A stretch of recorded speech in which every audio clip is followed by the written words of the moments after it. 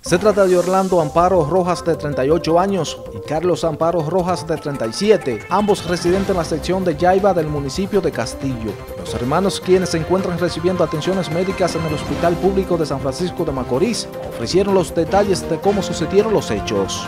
Imagínate una cosa que la comunidad y la gente, yo su nombre tengo relaciones con gente seria, trabajando y vaina, ¿qué van a decir? Son cosas que se en la comunidad. Tengo unas cuantas, pero las más, las más profundas son las la de brazo. Las otras son tonterías, sí. Pero son, pero que... Está bien, eso pasó.